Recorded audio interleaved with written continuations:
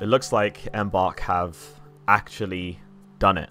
We've seen, you know, of course, throughout the week, some little teasers here and there, of course, from Oscar jamming out with Carl, and Embark are actually sticking to their roots, coming back home for us to all enjoy Season 4 together. Oh my god. Yeah.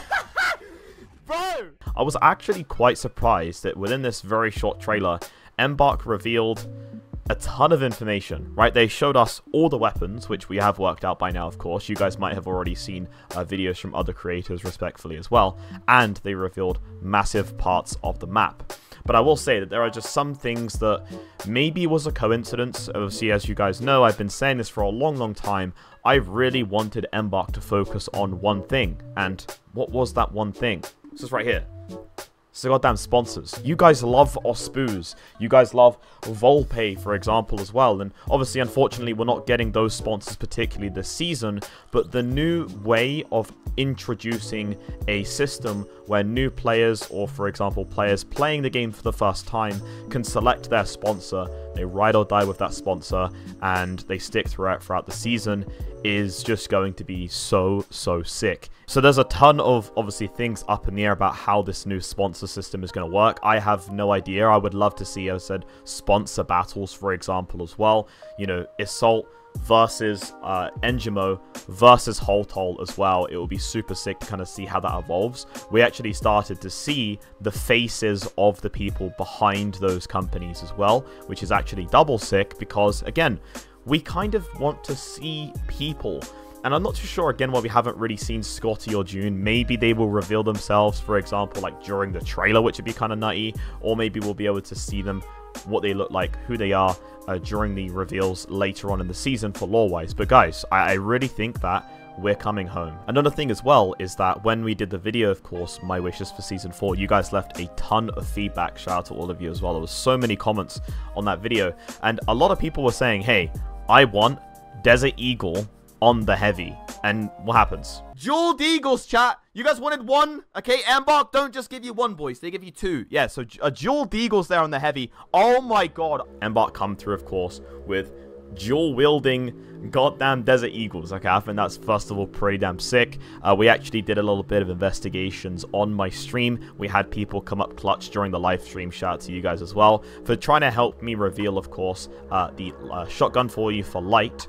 Uh, and of course, on top of that, the new rifle for medium. Uh, it's, it, it's expected that it is going to be a DMR. I was thinking it kind of looked like an M4, like an assault rifle instead, but apparently it's going to be a DMR. So you know, I said bolt action for medium. A DMR's a good compromise. So obviously a question is, you know, are these going to change the meta? I mean, I'll be honest with you guys, I'm not going to sit here and, you know, try and pretend that I'm going to be like a an expert mind reader, okay? Well, first of all, we need to see how these weapons actually, you know, integrate into the game, how strong they are, for example. For the map design, I think that it's actually pretty damn sick that we're kind of seeing those sponsors clash which really does set the standards for this being like a season 4 map, right? We have obviously the assault section of the map, we then have the Engimo section of the map, and then obviously, of course, not forgetting the Holtow section of the map too. But it does kind of give those vibes of like a mashup between like Seoul and then a little bit of like Skyway Stadium. I don't know, the kind of the feeling of that map kind of mixes between them. I think it's going to be a map that kind of feels closer to Skyway Stadium with the different sections, but then kind of has a feel, a visual kind of aspect of Seoul. I think one of the things that's very underrated in the notes and reveal like this is the fact that this sponsor will give us more content in the game. Some people in the feedback video in the comment section I was reading kind of, you know, highlighted sometimes that, hey, I kind of have completed everything a bit too soon. You know, people are grinding the contracts out, they're grinding their rank out. And with this new addition of the sponsors and obviously World Tour, I don't really think that people can say, "Hey, I'm kind of, I'm kind of, you know, scanning through all the content and completing it." Right? There's a lot more to do now, especially if we do have, for example, sponsor wars uh, and things like that. That some people are also asking me as well. So it's definitely going to be something to help out new players, uh, but obviously not forgetting as well. In the patch notes, they also said that we've also refined uh, how they give their experience to new players as well. So again, this is perfect. We need to help new players kind of be introduced to the game. And I actually think, by the way, if you guys don't know, um, there was a, a, thing in Escape from Tarkov called like the Sherpa or something, uh, which was basically where people would be assigned like a specific role and then they could help out new players be introduced to the game. I'm not gonna lie, I'd probably dedicate like a, a few hours a week just introducing new players to the game myself. Uh, maybe even do it like on streams, for example, just to kind of get to fill that experience of people. I think that that would actually be pretty damn fun. Now, of course, the massive uh, addition to the finals this time is going to be, of course, the additional uh, optional sights into the game. Now, you might say, Thix, what's your opinion on it? Do you think it's a little bit busted or a little bit broken. I think that it kind of depends. If the, let's say LH1, for example, had like an ACOG sight or it had like a 2x or a 4x sight on it, for example, that's a little bit, you know, it's a little bit kind of it's a little bit kind of there. Obviously, I know if you're used to the LH1, you can kind of beam without needing that you know extra zoom in, but a lot more players would be able to be way more effective with the LH1. So I think that if it is selective on which weapons get those optional attachments, then I don't think it's going to be a problem. I know that a lot of people have been telling me previously before that, hey, you know, the AKM needs, for example, like a sight on it, um, and, you know, to be honest, I think that this is actually a pretty okay thing. Um, you know, the, the, the next question in hand is you could ask me and say, you know, Thix, do will there be further attachments in the future, right? For example, will we get um, customization to weapons? I think that we absolutely need customization to weapons.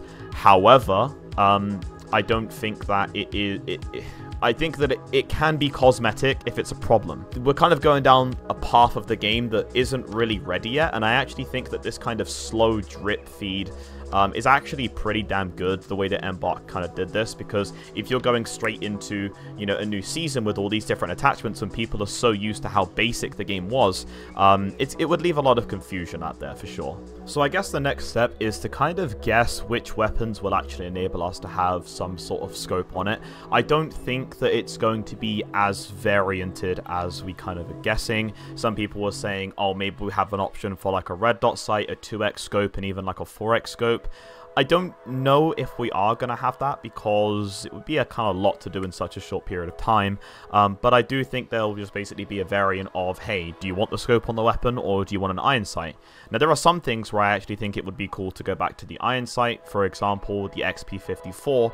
Uh, as you guys know, back in closed beta 2, the XP54 was actually an iron sight only weapon. There was no ACOG sight that was actually on the gun today. So yeah, that's pretty much it, guys. Uh, we're, we're kind of growing a little bit more over here on the channel, so I appreciate all of you coming along and checking me out. Um, you know, we're kind of getting to the stage now where, oh, seven more days until uh, we get to TwitchCon San Diego, so I'm super excited for it, and uh, of course, I can't wait to be sharing uh, the reaction, of course, with you guys over there uh, for Season 4. So as always, guys, thank you so, so much for watching. My name has been Thix, and I'll see you on the podium.